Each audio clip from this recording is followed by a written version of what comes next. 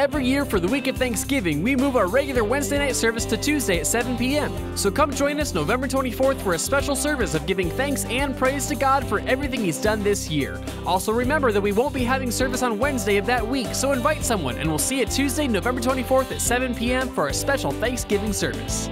Every few months, the River partners with Bloodworks Northwest to host a blood drive.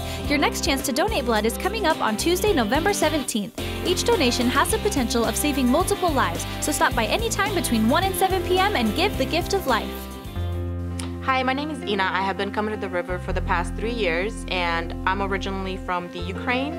The past summer, we did an outreach at the Kent Cornucopia Days. As I was walking through the fair, I run into the Operation Christmas Child booth, and literally had a flashback to when I was seven years old, standing in line waiting to receive a gift. And when they opened the doors of this truck outside, there was just a whole bunch of gifts. And the lady came up to me, she said, Which one do you want? I'm like, get to pick? I was like, I want the red one right there, the red one with the white snowflakes. That's what was looking at me. And when I received the gift, I grabbed the box and I ran home holding onto it. I was like, this is mine. This is my gift. This was my first gift I ever received. So to me, it was it had value to it and I had no idea what was in it. It was I came home and I opened it up.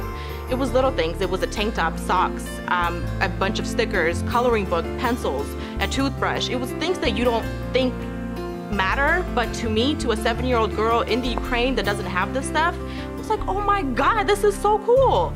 And as I was going through the things in the box, I realized that I was experiencing joy for the first time. I felt that somebody somewhere cared about me enough to put a box together and send it over. They didn't know who it was coming to come to, but it changed my world. I was like, oh my God, this this was Christmas to me. It wasn't about the gift, it was about that somebody cares, somebody loves me, and they don't even know me. And I encourage you today to pick up a box, stuff it with whatever you think a seven-year-old girl boy would like, and send it over because you can't change the whole world, but you can change somebody's world. Don't forget that you only have one more week to bring back your shoebox for this year's Christmas outreach, Operation Christmas Child. These boxes will be distributed all over the world to children in need to bring Christmas to them, along with the love and gospel of Jesus Christ. And if you haven't picked up a box and would still like to get involved, there's still time. All boxes are due back at the Welcome Center next Sunday, November 15th.